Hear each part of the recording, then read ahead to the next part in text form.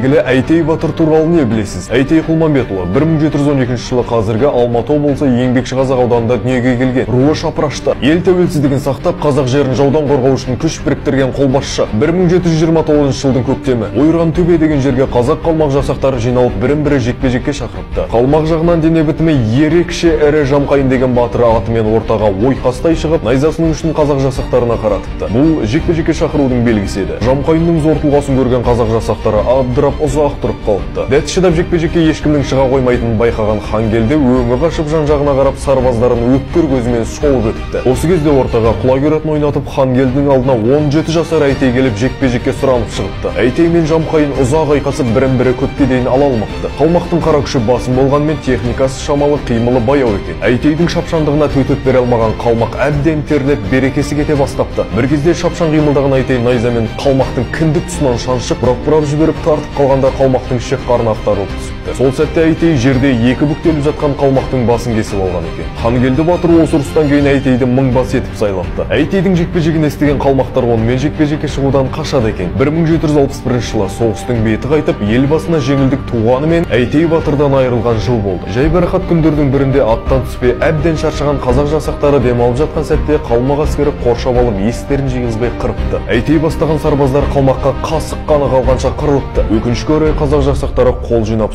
соғысуға қайта келгенде әйтей батырды найзамен жеті жерінен түйреп ат басы жоғары көтеріп қойып өздері қашып кетіпті.